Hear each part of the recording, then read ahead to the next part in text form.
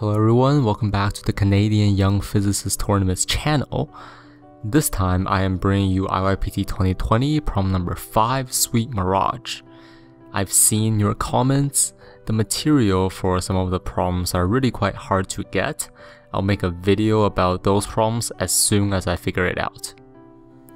Problem number 5 tells us to shine a laser through a refractive index gradient.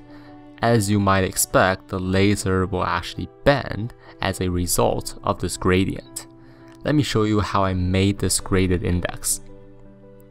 You will need a long transparent container, a laser pointer, and some sugar. All you have to do is put some sugar at the bottom of the container, and then top it up with water. After that, just wait for a few hours. Do not try to stir it, stirring it will just disturb the graded index. Cold water is fine. If you use hot water, you will begin to see some convections. This will also disturb the graded index. Just let the sugar naturally dissolve into the water. In my opinion, the laser light bending is really not the interesting part. I am interested in getting some understanding of this graded index. Let me draw your attention to another experiment. Here I prepared some plastic bowls, some food coloring, and a syringe. I added different amounts of sugar to each of the plastic bowls. Then I added the same amount of water to each bowl. Then I stirred each solution until all the sugar was dissolved. I added the food coloring to each of the solutions. I slowly added the different solutions to a glass cup from the highest sugar concentration to the lowest sugar concentration. As you can see, the different solutions do not mix, they stack on top of each other in the order of concentration. In fact, when you dissolve sugar into water, the density of the solution increases depending on the amount of sugar you add. The different solutions arrange themselves based on their density. The highest density is at the bottom and the lowest density is at the top.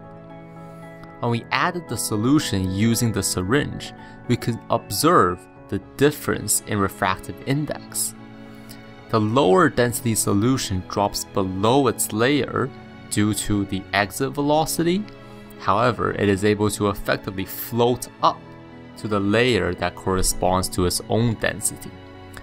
Let us take a moment to appreciate how beautiful this is.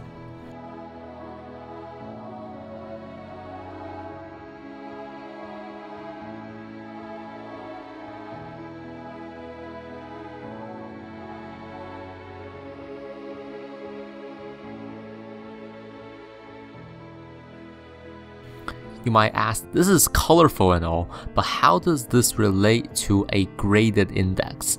This is discrete, but a graded index is continuous. Although you can't see a mirage using these layers, but it acts as an effective marker for a particular density.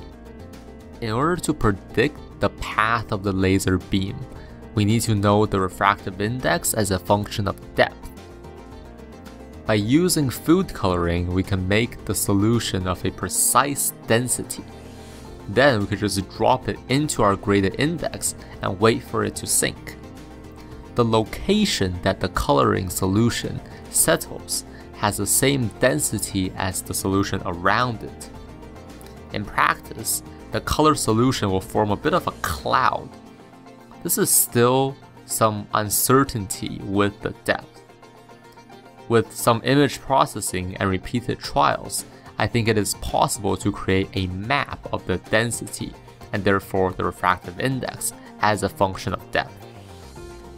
I hope you liked today's video. If you did, please make sure to like, share, and subscribe, and I'll see you next time. Bye.